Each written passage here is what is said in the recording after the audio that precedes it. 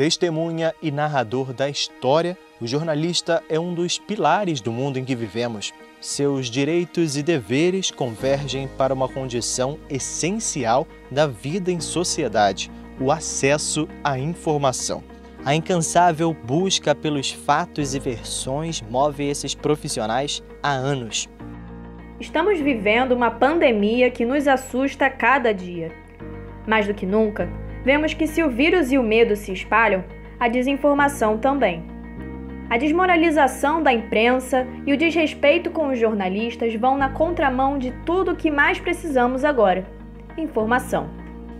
Informação clara, informação de qualidade, informação de fontes confiáveis.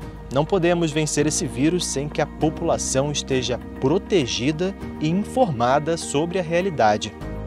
Jornalismo e democracia caminham lado a lado. Em tempos de ignorância e fake news, informação e conhecimento são os únicos remédios capazes de nos tornar verdadeiramente livres. Quem faz notícia faz história. Viva a liberdade de imprensa. 7 de abril Dia do Jornalista.